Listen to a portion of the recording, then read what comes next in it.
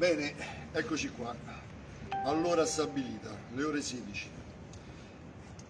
Appena adesso ho avuto l'autorizzazione da parte dell'esercito e del colonnello Belinghieri di poter riprendere, come vedete, l'ambasciata russa, il sito di Roma. L'ambasciatore Sergei Razon ha ricevuto per nostra testimonianza l'appello che gli abbiamo rivolto.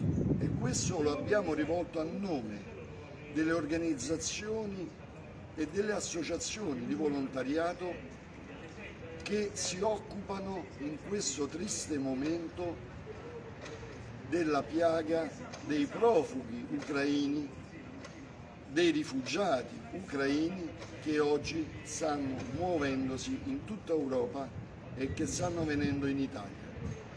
Tra questi voglio nominare quella che già abbiamo conosciuto negli nostri talk show di, in radio e che avete visto nei filmati di Rimini all'arrivo del primo pullman di profughi a Rimini.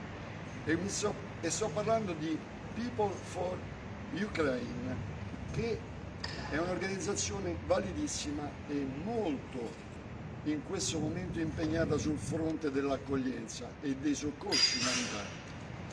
Bene, io prima di leggervi la testimonianza che abbiamo consegnato in questo momento allo stesso ambasciatore eh, volevo darvi un attimo dei dati su quello che sta succedendo per fare mente locale sull'oggetto di questa edizione speciale e cioè violenza e guerra.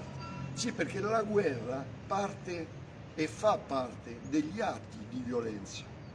Guerra è violenza. Violenza è quella che viene perpetrata anche alle donne, ai bambini, le violenze di ogni genere. Le cose vanno di pari passo e noi le discuteremo sul mio talk show, quello che va sotto la bandiera del riflettiamo mangiando e quindi sulle riflessioni di vita semplice e di una vita facile e semplice da poter vivere. I tempi di oggi ci dicono esattamente il contrario.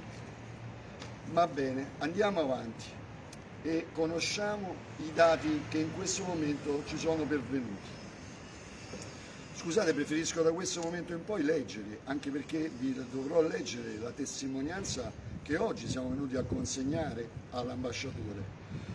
Allora, i dati ad oggi sono questi. Come sapete sono stati lanciati dei missili la notte scorsa e continuano ad essere lanciati. Ad oggi i missili lanciati sull'Ucraina da parte dell'esercito russo, e lo dico qui davanti all'ambasciata russa, sono più di mille Dopo il bombardamento di Mariupol e di, e di oltre 21.000 morti il numero delle vittime, quindi dopo quel bombardamento siamo oltre 21.000 morti. Il numero delle vittime è più 110 quello dei bambini, cioè 110 bambini morti sotto il lancio di missili e bombe. Vediamo dall'altra parte, dall'altro fronte russi morti è superiore a 7.000 7.000 soldati morti. Nelle intere guerre in Afghanistan e Cecenia in questi 25 giorni. Il numero dei rifugiati ucraini in Europa eh, che stanno fuggendo da queste ecatombe sono 5 milioni e al momento l'Italia ne conta più di 40.000. Questi dati, cari amici, sono allarmanti ed è per questo che siamo venuti qui davanti all'ambasciata russa a testimoniare il nostro appello. Un appello che andremo a vedere ma che in sintesi si traduce in un appello alla pace, un appello di pace. Vogliamo la pace. Cosa abbiamo riferito quindi all'ambasciata russa. Dopo questi orribili e tragici numeri ho deciso, d'accordo con le organizzazioni e associazioni di volontariato che sostengo, di venire qui davanti alla federazione russa e dal suo ambasciatore Sergei Razov a svolgere questo speciale sulla violenza di ogni genere e sulla guerra. Infatti non sono qui per assecondare la propaganda di Putin che con più di 11 milioni di russi con legami parentali in Ucraina sta cercando grosse tensioni tra gli stessi parenti e amici, riuscendo a dividerli. Non sono qui per assecondare la propaganda a favore della guerra e del mercato delle armi. Sono qui invece per chiedere l'immediata fine della guerra. Sono qui per lanciare alla Russia un appello alla pace, ricordando a tutti che attraverso azioni di non violenza come quelle compiute da due grandi pacifisti come Gandhi e Martin Luther King, è possibile giungere al riconoscimento di quanto voluto, di quello che si desidera. Si proceda quindi spediti con le negoziazioni di pace e si giunga immediatamente al cessate il fuoco. Bambine, bambini, donne e intere famiglie stanno morendo sotto il lancio di missili e bombe.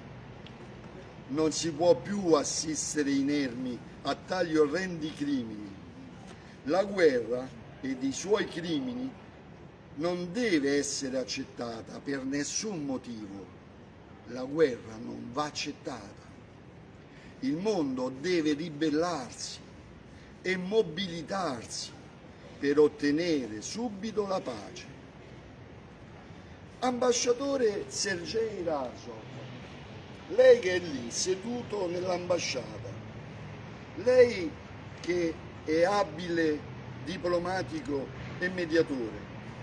Noi chiediamo la pace, pace, pace, pace.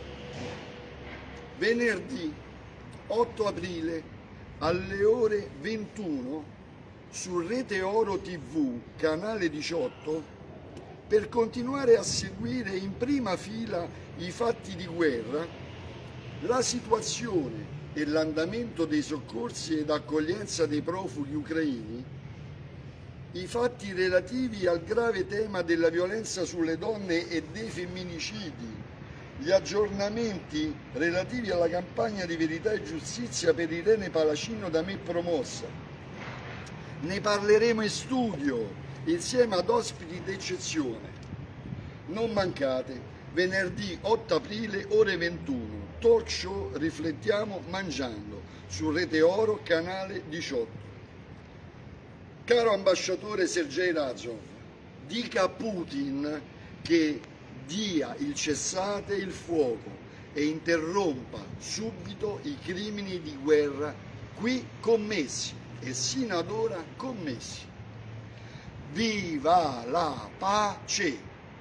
Signori, questo speciale, questa edizione è corta, scritta perché ne va di mezzo la diplomazia, il momento è particolare, come vedete l'assetto urbano intorno all'ambasciata è presidiato militarmente, è inavvicinabile e ringrazio ancora il colonnello che mi ha dato la possibilità di filmare l'ambasciata e di poter parlare liberamente.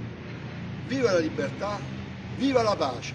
Vi aspetto tutti lunedì e il venerdì 8 nel mio talk show su Rete Oro a continuare a seguire le faccende di violenza femminile, maschile, di ogni genere e soprattutto i fatti di guerra. Un abbraccio a tutti gli ucraini, ai bambini e alle donne che in questo momento stanno soffrendo e stanno anche morendo vergogna, viva la pace!